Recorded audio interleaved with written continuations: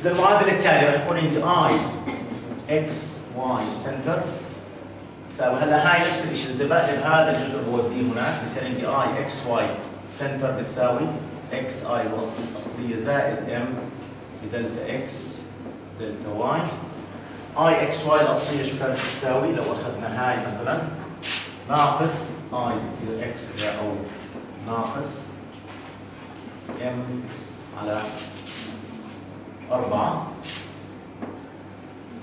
W L زائد M delta x إيش بتساوي؟ W على 2 و delta y بتساوي؟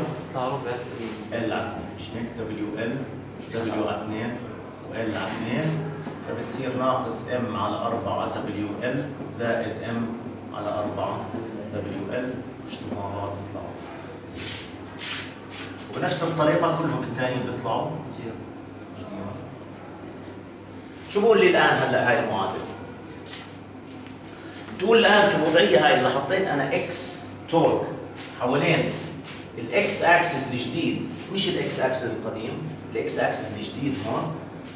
لو حطيت آه، torque على ال x axis ما راح يصير في عندي تسارع حوالين ال y الجديد أو ال z الجديد.